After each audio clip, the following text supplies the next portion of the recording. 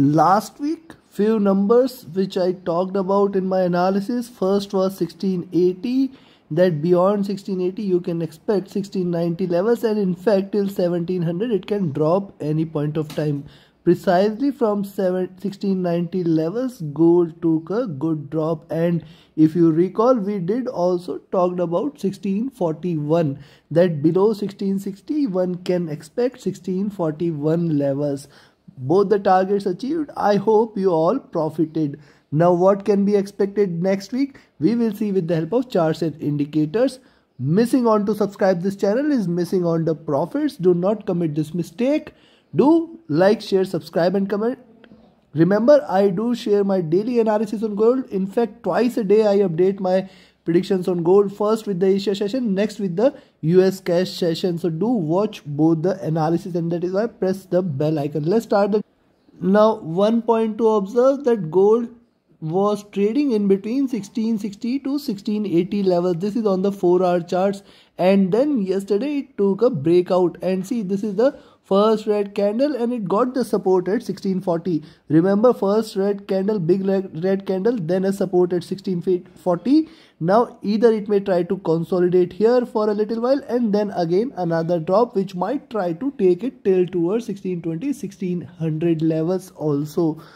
Those who recall multiple weeks back I talked about 1590 1600 zone for gold. I will come back to this. Why did I say for 1590 1600? Now first let's have a look at so see after this breakout this is the first red candle a bit of consolidation even if it tries to rise look at this lower highs and hence here 1660 1670 level should be good so you should watch out for first 1660 and 1670 on the upside if and only if it trades above 1670 you can consider it for a little bullish move. Else every rise is a good opportunity to sell gold because See, this is the first red candle. After a bit of consolidation, it may show you another red candle which will be taking it till towards 1620 levels, which will be a smaller candle than what we had seen there, almost $30. Here also we can expect almost $20. So 1620 can be achieved and in fact below those levels are also possible. But this is on the 4 hour charts. Let's have a look at the daily charts. Now look at the daily charts. So on the daily chart, look at the gold's movement from 1800 levels. At 1800, I told you possibly it is the time when gold is reversing and see how beautiful it has reversed the sharp drop retracement sharp drop retracement drop retracement and then a drop. So it is precisely trading within this channel.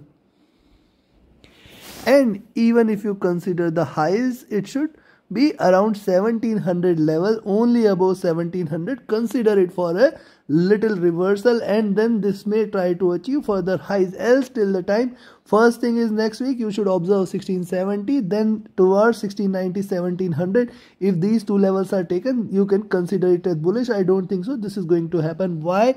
Now see yes it has seen the lows there but look after this consolidation this is the first breakout candle and whenever it breaks out the possibility of it to give you a second and third subsequent red candle exists how far it can go? Yes there is a support at 16 18 16 24 these two levels you should mark out. First support at 16 18 24 and below that possibly we may see 16 06 and 1600 yes 50 1590 600 1600 zone is what we are looking forward to. But whether this is going to happen in a week or it will take some time we will look into this. But yes why i'm saying so after consolidation this is the first red candle. See after consolidation first red candle and two red candles followed. Here also we can see if it wants to give a little movement possibly we may see smaller candles else it may give you bigger candles and then it can try to take it till towards 16 18 1600 zone before it tries to bounce back a little.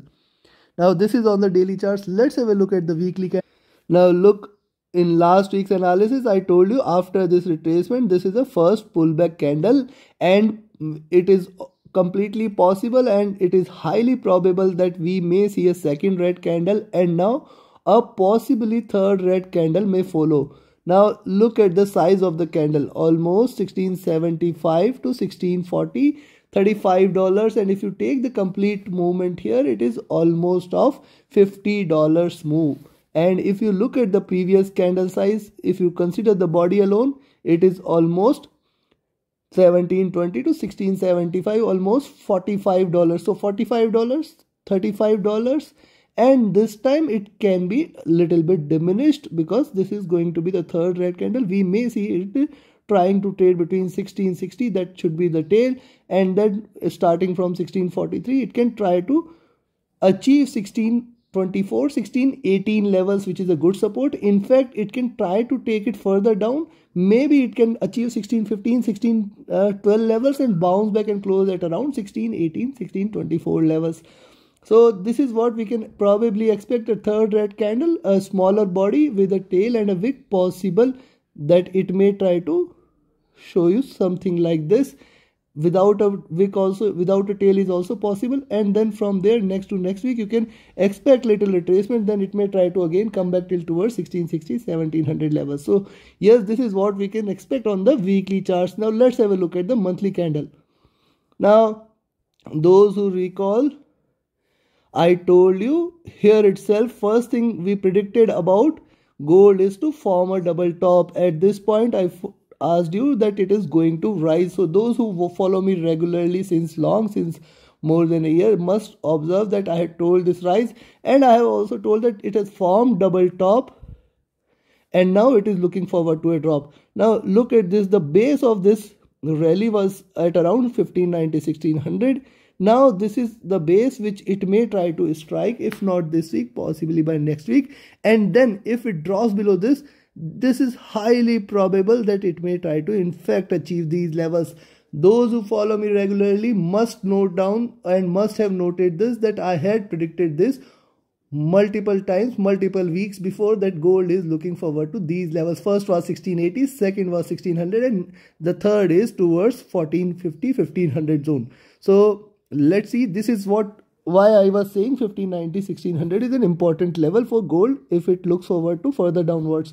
On the for the next week it appears 1610 1620 zone should provide a very strong support if it continues to trade on the downside.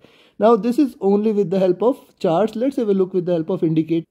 And yes before i provide you the complete analysis and the levels remember if you want to learn this art of identifying the right trades and the right movements of the market you should join the mentorship sessions the 16th batch is starting on 3rd of october. Only few seats are left. Book your seats now. This is going to be a 15 days session. 90 minutes live webinars are there and we will be providing you technical support even after the course duration. So you can reach out to me for more details. My telegram and email ids are mentioned in the channel and uh, video description. Remember invest in your learning first then only you will be able to profit throughout your life. This is the investment which will reap the benefits throughout your life. So join the mentorship batch. Definitely the strategies taught will help you become a profitable trader. You can also join my vip signals group on telegram. Also you just if you want to support the effort here on youtube which i am delivering daily basis please become a patreon. A seven dollar contribution per month from your side in fact, your newspaper costs more than that. So yes, contribute that much for the effort and definitely it will be a motivation for me. The Patreon link is also mentioned in the channel and video description. Now let's have a look at the indicator. See on the indicators, it is trading outside the Bollinger Bands on the 4 hour charts. The resistance zone at 1660, 1665, 70, 75 is strong. This zone it has to surpass for it to trade in a bullish note else till the time it trades below this it can be considered as bearish. Directional movement on the 4 hour charts is bearish. Stochastic is oversold. The MACD is bearish here. It is divergent and it has still potential for it to increase or maybe it may try to reduce and then again try to increase the width of the Bollinger uh, the candles there. The height of the candles can increase with the bigger moves the RSI is trading at the bottom but it is not oversold. It has still scope for it to take it further down. Now look at the daily charts here. Remember on the daily charts it is trading outside the Bollinger Bands. What we have seen see this time this was the time when it traded outside the Bollinger Bands. Possibly it may try to trade again uh, or it may try to take it further down till towards 1630 1620 and bounce back the very first day the similar formation can be seen. See whenever it tried to trade outside the Bollinger Band see there is a pullback. See the it traded outside and then there is a pullback. And you know what it does? Whenever it trades outside the Bollinger Bands it does nothing but increases the width of the Bollinger Bands for it to sustain the next bearish move. That is what is the need of this extreme move so possibly we may see it retracing a little or trying to consolidate a little before it looks forward to a drop there. Only bullishness here is above 1695 1705 zone. This is if it breaks, if and only if gold breaks this zone, you can consider it for a reversal. Then you can again expect 17 40 50 levels if and only if it trades above 1705 levels you can see there is a crossover between the 20 and 50 period moving average. This is also indicative that the bearishness has increased as the 20 period moving average now is below the 50 period moving average and it is diverging indicating that the near term bearishness is stronger. Now look at the directional movement. This is diverging again bearishness. Stochastic has seen a little retracement. Now possibly again it may try to take it towards oversold zone Hence, you can see a little more drop. The MACD is diverging again and it is indicating bearishness. The RSI is again trying to trade into oversold zone. It can sustain oversold zone for a little while before looking forward to a bounce back. Now look at the weekly charts and the weekly candles. Yes, it is trading at the bottom of the Bollinger Bands. The next candle when it starts possibly we may see a little rise and also this will uh, limit the movement of gold on the downside. Hence there is going to be very strong support in between 1600 rather i will say 1590 to 1610 or 1615 levels there is going to be very strong support in this zone. So in fact there is 30 dollars that is 1590 to 1620 it may achieve and that should be a good opportunity for you to buy for a little time frame maybe a week or so. Till the time it sustains these level possibility of it to bounce back exists now look at the directional movement. This is divergent and this is extremely bearish move. Stochastic entering into oversold zone. The variance is still there. It may try to sustain these levels just like this. We may see a red candle and then a bounce back can be seen next to next week. The MACD is divergent and bearish. RSI entering into oversold zone. And if you look at the monthly candle, now look at the monthly chart. See the 20 months moving average at 1800 and now it is achieved the 50 months moving average which is at 1640 levels and possibly we may see further lows out there on the down. The 100 and 200 period moving average is lying somewhere between 1400 to 1500. It means last 10 years moving average price for gold was $1400 to $1500 but in your local currency this may not be the case as gold is still not cheaper. Why? Because the dollar prices are going high and hence gold is not becoming cheaper for the currencies which are not trading in USD now look at the crossover here on the monthly charts on gold and the directional movement crossing over almost after 4 years. We talked about this last week that this, there is a possible crossover and it may be continued. The stochastic is entering into oversold zone. We talked about this also that this is a rare phenomena when on the monthly chart gold has entered into oversold zone. And whenever it has achieved oversold it, it tries to it has tried to bounce back. But see this when it was overbought and it is sustained if it is bearish it can sustain the oversold low levels too. The MACD is divergent and bearish. Remember it is still trading above zero levels and see this was the time when it has achieved the peak and now possibility of it to enter into oversold zone exists. Hence yes even if it tries to retrace the possibility of it to trade bearish in near next to few months we can expect a further drop in gold. It is not yet a time to accumulate. Now see the RSI was trading oversold on the monthly charts and then we have seen a good drop sharp drop. It is looking vertically downwards. Yes if it can sustain overbought levels it can sustain oversold levels too. Till now if you see the history this was the time in 99 1999 when it has gone into oversold zone on the monthly charts. And since then it has been consistently trading above levels. Possibility exists that we may see it dropping in the oversold zone this time so this is what the analysis we have done. Now let's have a look at the strategy for next. First let's have a look at the levels to buy gold here. Yes you can buy at 1651 but remember 1656 1660 1665 1670 now this levels holds good for daily and weekly basis.